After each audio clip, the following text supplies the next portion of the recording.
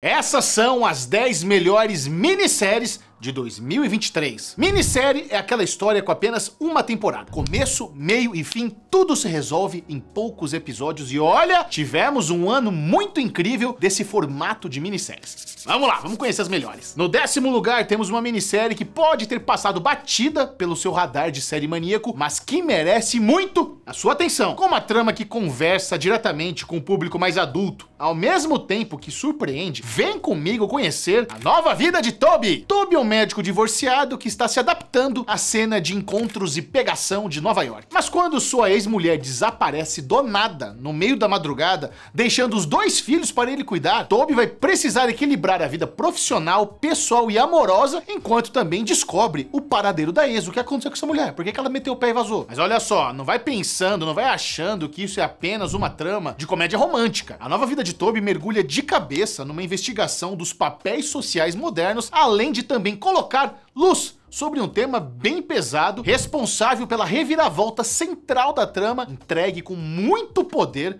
por Claire Danes. Mano, que atriz formidável, né? Quem conhece Homeland sabe o talento da Claire Danes. O grito que ela dá ali em um episódio, no final da temporada, ecoou na minha alma. Sem falar que o elenco ainda tem o Jesse Eisenberg, o Adam Brody, nosso querido Seth de OC, tem o Josh Rodner, né, o nosso querido Ted de How I Met Your Mother, e a Liz Kaplan. A nova vida de Toby está disponível no Star Plus, e é claro que aqui no canal temos um vídeo todo dedicado dedicado a essa ótima minissérie com uma análise mais aprofundada para quem quiser conferir depois. Vou deixar o link aqui na, na descrição desse vídeo para você assistir depois desse. O nono lugar da lista é um passeio numa mente lotada. Com uma trama que brinca com a percepção de quem está assistindo e atuações memoráveis de um jovem talento, eu te pergunto, você já assistiu Entre Estranhos? Danny é um jovem que é preso e acusado de ser responsável por um tiroteio lá na cidade de Nova York nos anos 70. Quando uma psiquiatra resolve investigar o caso, já que o Danny parece muito confuso né, nessa situação, ela vai desvendando o passado complicado de Danny e também o segredo que se esconde por trás dessas atitudes confusas do rapaz. Entre Estranhos é uma história que prendeu a minha atenção, que tem uma reviravolta chocante no final e tem um conjunto de boas atuações e revelações entregues nos momentos certinhos ali. Você fala, hum,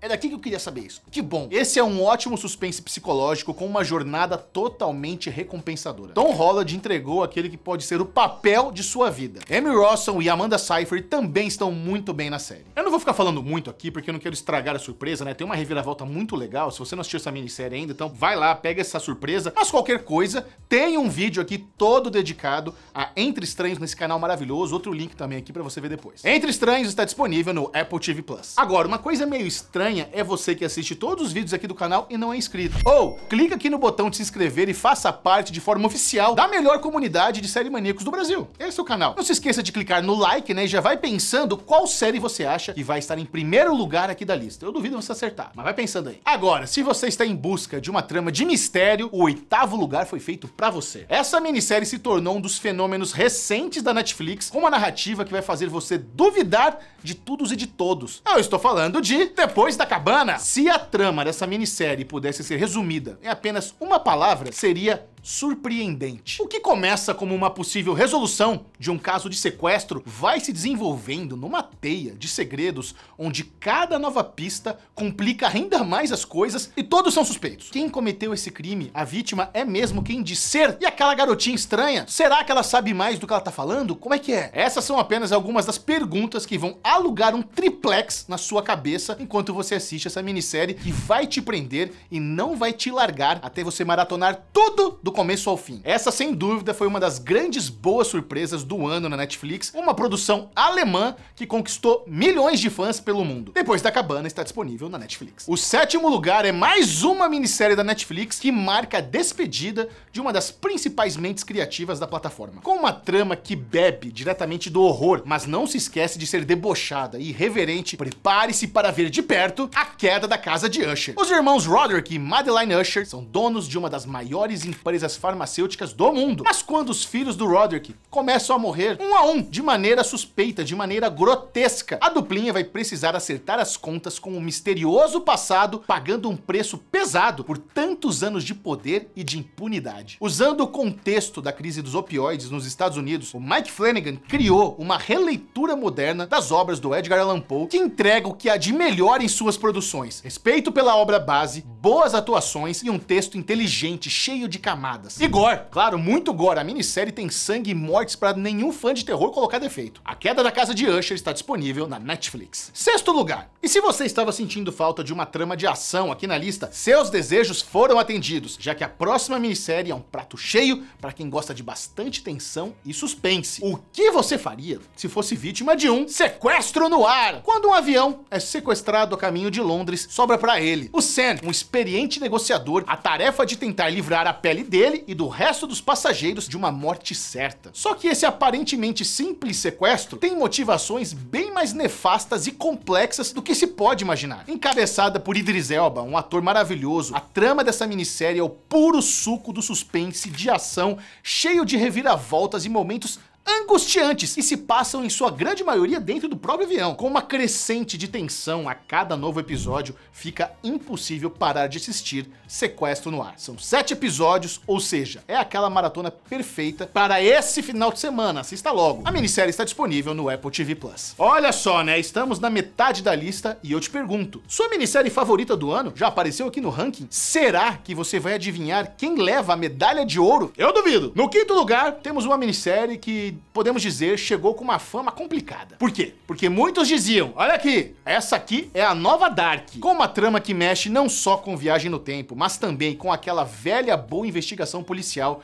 você está preparado para desvendar o mistério de Corpus. Quatro detetives em quatro diferentes épocas da história britânica investigam sem saber o mesmo caso. E por trás de tal crime está uma figura enraizada na história do país que tem seus próprios planos para se manter no poder, não importa o preço a pagar e nem quem fique no seu caminho. Corpus é aquela trama perfeita para quem gosta de drama investigativo com toques de ficção científica que se utiliza de um bom design de produção, bons atores para contar uma história que apesar de ser focada mais no lado sci-fi, tem no seu cerne a preocupação humana de encontrar o seu lugar no universo. Saiba que você é amado. Aqui o amor é uma motivação bem complexa. Com boas reviravoltas e uma história muito empolgante, Corpus está disponível na Netflix. E é claro, né, com as produções True Crime ganhando cada vez mais relevância, quarto lugar aqui da nossa lista examina um dos crimes reais mais chocantes da história dos Estados Unidos, entregando uma história cheia de boas camadas e boas atuações. Pode entrar Amor e Morte. Criada por David e Kelly, Amor e Morte desenvolve sem pressa o famoso caso de Candy Montgomery, responsável por matar a mulher do seu amante a machadadas. Aqui nessa minissérie, o roteiro explora de uma forma bem esperta o aumento da tensão da trama, fazendo quem assiste acompanhar a transformação da personagem principal e o chocante crime que ela cometeu. Mas vamos combinar, né? Tudo isso não seria seria nada sem as atuações perfeitas de Elizabeth Olsen, Lily Rabe e Jesse Plimons. Cada um deles entrega as diferentes percepções dos vértices desse triângulo fadado ao fracasso, construindo um panorama cheio de profundidade psicológica. Essa é uma minissérie obrigatória para os amantes de True Crime. Amor e Morte está disponível no Max. Top 3 chegando com tudo, aqui o negócio fica complicado. Já pensou aí quem leva a medalha de ouro? Não é tão difícil de acertar assim, viu, diretor? Eu tô falando aqui, mas é meio que fácil. Ah, não sei, Michel. Eu não, não descobriria. Medalha de bronze. No terceiro lugar, temos uma adaptação de um livro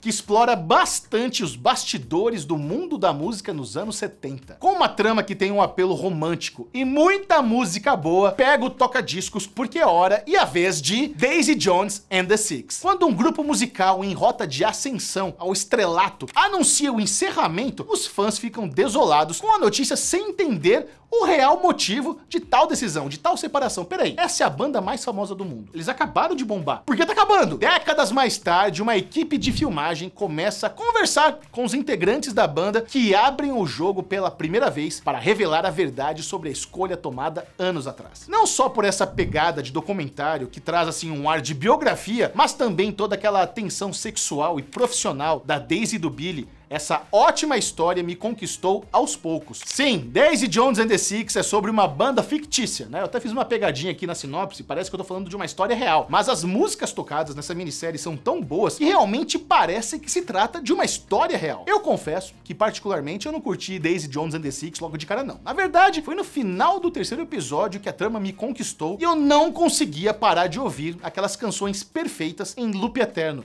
e que realmente soam como uma obra dos anos 70. Brigas de bastidores, preconceito, drogas, relacionamentos quebrados e muito rock and roll. Essa é uma produção dedicada não só aos fãs de música, mas aos fãs de boas histórias no geral. Daisy Jones and the Six está disponível no Prime Video e é apaixonante. Faça como eu, dê uma chance, vale a pena. Agora, medalha de prata. Eu aposto que muitos de vocês pensaram que essa minissérie do segundo lugar seria a número 1. Um. E ela realmente não deixa de ser menos tensa, impactante e viciante. Com aquele formato né, que apela pra dramédia, mas que também aplica elementos surreais eu estou falando de treta! Um desentendimento ali no estacionamento escala para uma briga com consequências absurdas cada vez mais graves quando duas pessoas frustradas com suas respectivas vidas se encontram, compartilhando a vontade de destruir um ao outro. Eles são unidos pelo ódio mesmo, é isso. As atuações do Steve Young e da Ali Yong dão vida a essa trama cheia de camadas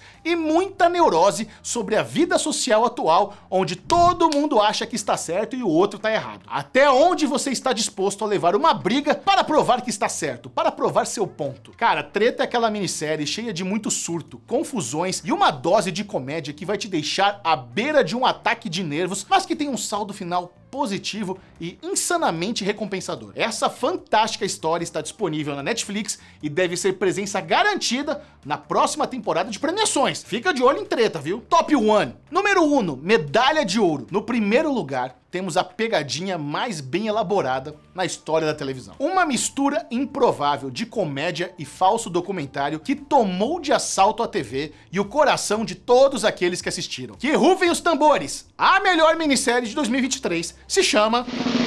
Jury Duty! Um julgamento absurdo em um tribunal da Califórnia, na verdade, se revela uma elaborada pegadinha feita em cima dele. Ronald Gladden, a única pessoa na situação que não sabe que tudo está sendo armado nos mais ínfimos detalhes. E olha, de verdade, esse cara, o Ronald, ele é a alma dessa minissérie. É ele quem faz as reviravoltas absurdas funcionarem. É muito louco porque ele também consegue criar ligações imediatas com o elenco de atores, tornando uma relação falsa em algo genuíno, familiar e realmente verdadeiro. E não só a capacidade absurda de improvisa do elenco, mas também, mano, o que foi ver James Marsden como uma versão exagerada dele mesmo. É genial. Não tinha como outra minissérie assumir a primeira posição desse ranking.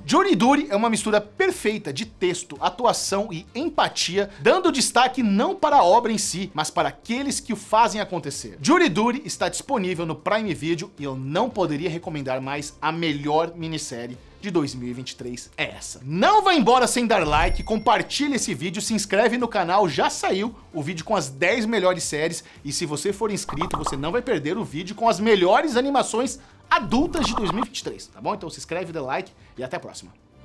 Beijo!